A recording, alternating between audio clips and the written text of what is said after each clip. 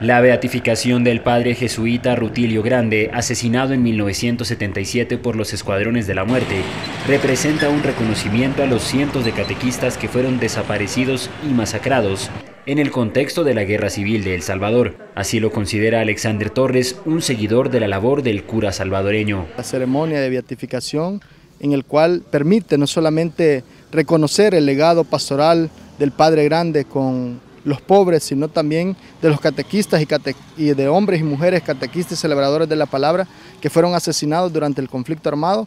Gente de las comunidades del Paisnal, de WhatsApp, Aguilares y de todo el país que acompañaron esa obra pastoral del Padre Grande, que conocieron de cerca el sentir del pueblo, fueron masacrados, perseguidos durante el conflicto armado y asesinados.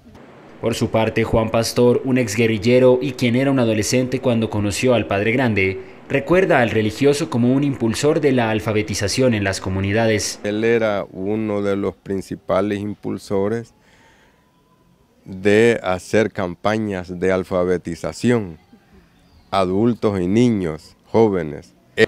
Al igual que el Padre Grande, cientos de religiosos, entre curas, monjes y catequistas, fueron asesinados antes y durante la guerra interna salvadoreña. Algunos de estos asesinatos fueron perpetrados por los escuadrones de la muerte, frecuentemente operados por aliados a los militares y respaldados por poderosos empresarios, terratenientes y líderes políticos de la época, de acuerdo con un informe de la Comisión de la Verdad.